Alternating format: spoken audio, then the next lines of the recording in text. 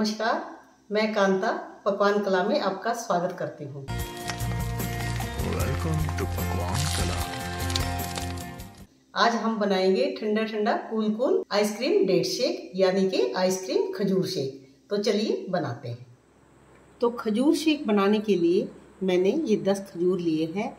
इनको मैं बीच में से तोड़ के इनके बीज निकाल लूँगी और बीज निकालने के बाद मैं इन्हें यूज़ करूँगी। आठ से दस मैंने बादाम लिए हैं। छः सात मैंने काजू लिए हैं, दो छोटी चम्मच मैंने चीनी ली है। चीनी आप कम या ज़्यादा कर सकते हैं क्योंकि हमारा खजूर भी काफ़ी मीठा है, इसलिए चीनी आप अपने स्वाद अनुसार कम या ज़्यादा कर सकते हैं।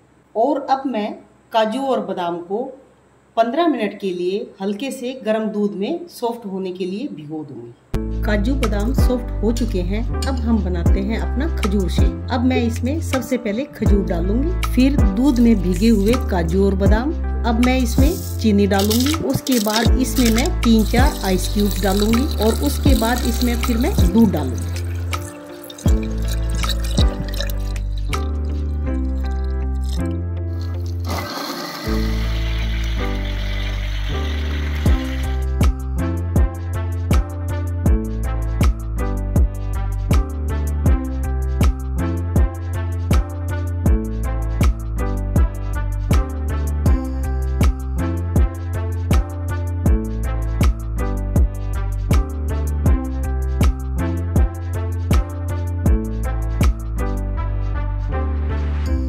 हमारा ठंडा ठंडा आइसक्रीम, डेट शेक यानी खजूर शेक। बनाना भी कितना आसान है, खजूर डाले, दूध डाला, चीनी डाले, ड्राई फ्रूट डाले, मिक्सी घुमाई और बन गया।